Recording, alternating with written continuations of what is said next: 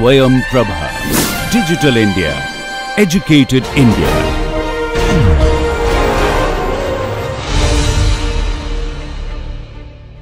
Good morning and welcome to this case study in the renal system.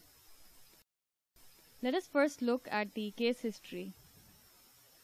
This 53 year old man presented with complaints of passing blood in the urine for 17 days and it was not associated with pain, passage of clots or stones, fever, or any other complaints. The first episode was in 1982 and lasted for four days. The second episode again lasted for four days in 1985, and this was associated with pain during passage of clots, but it was relieved soon thereafter. The patient was managed conservatively on analgesics and plenty of oral fluids, and the hematuria subsided. He then had a third episode of hematuria in 1986, which lasted for six days.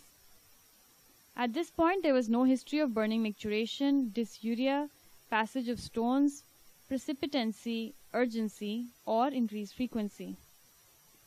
There was never any history of fever, facial or pedal edema. The patient was not a known diabetic or hypertensive, and the family and personal histories were normal. On examination, there was no pallor, icterus, lymphadenopathy, facial or pedal edema.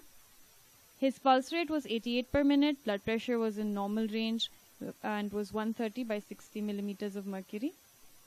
The rest of systemic examination was also within normal limits. Abdominal examination, however, revealed a non-tender, firm ballotable mass in the right lumbar region. Its upper margin could not be palpated, while the lower margin was well defined. The liver and spleen were not palpable, and there was no varicocele. This patient was further investigated. Let us look at the investigations. He was anemic with a hemoglobin of 10. His total leukocyte count was in the normal range with a predominance of neutrophils. His urea and creatinine were also normal. His serum protein, serum sodium and potassium, Ag ratio, alkaline phosphatase, and serum bilirubin were also in the normal range. Urine microscopy, however, revealed 15 to 20 RBCs per high power field, and you can see the RBCs now. As you can see, the red blood cells are still hemoglobinized, they are pink to red in color, and they have smooth margins. So, this is non glomerular hematuria. What do we expect in glomerular hematuria? We see dysmorphic RBCs. Dysmorphic RBCs are usually non-hemoglobinized, they have lost their hemoglobin and they tend to show irregularity of the membrane. Other than the RBCs, the culture was negative. Ultrasound, IVP, CT scan and transfemoral angiography was also performed. This is the longitudinal ultrasound scan of the right kidney and it's a hypo darker rounded solid mass in the cortex of the mid part of the kidney. Ultrasound is usually the first modality to detect renal cell carcinoma.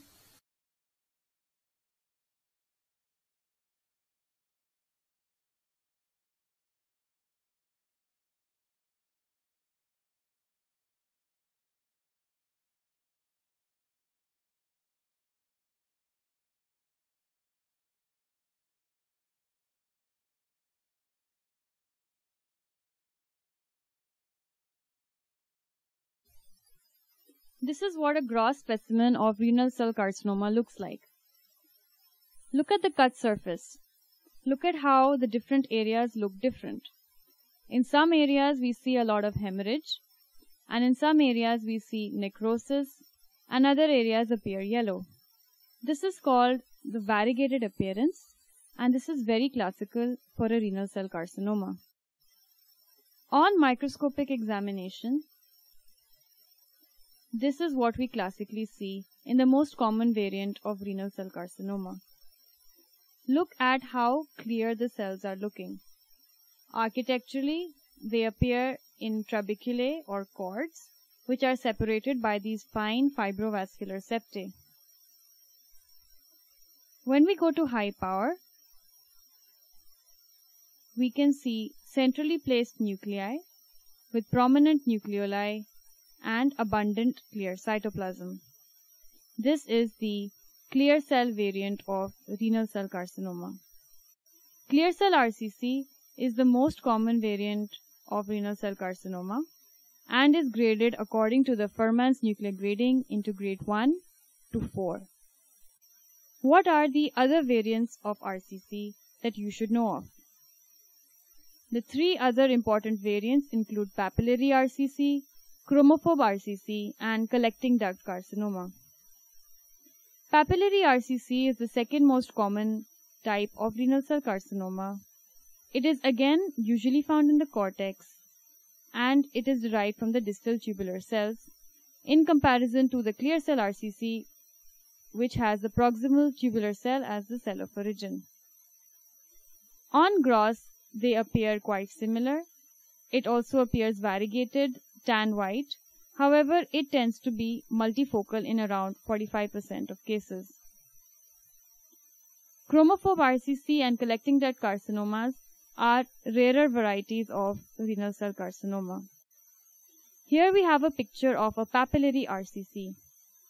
Look at the papillae which are lined by cuboidal to columnar cells and the interstitial foam cells within the cores of the papillae. This is the classical appearance of a papillary renal cell carcinoma. This is a chromophobe renal cell carcinoma. Look at the solid sheets and the trabeculae and cells which appear clear as well as having eosinophilic cytoplasm. Classically in chromophobe RCC, we see perinuclear halos, as you can see in these pictures. So why does renal cell carcinoma develop? Researchers have found a genetic basis for clear cell renal cell carcinoma and it is related to the VHL gene. The von Hippel-Lindau gene is present on the short arm of chromosome 3 and encodes for the VHL gene product. This product is an integral part of the proteasome. The ubiquitin proteasome pathway is an important pathway which is responsible for degradation of a lot of proteins. An important protein that it degrades is the hypoxia inducible factor 1, also called HIF1. Here we can see the normal pathway for degradation of HIF once it is labeled with ubiquitin. You can see the proteasome degrading it into multiple fragments. In the situation in which the VHL gene is deleted, there is going to be absence of the VHL gene product. So let us see how that affects us.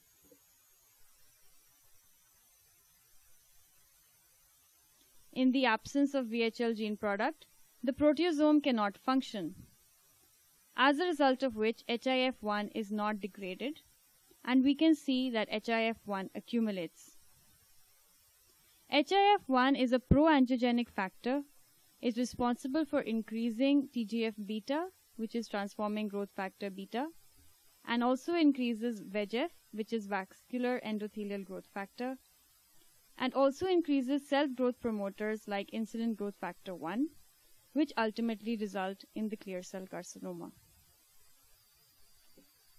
Patients with the von Hippel-Lindau syndrome tend to develop retinal hemangiomas, clear cell renal cell carcinomas, multiple renal cysts, cerebellar and spinal hemangioblastomas, and even pheochromocytomas.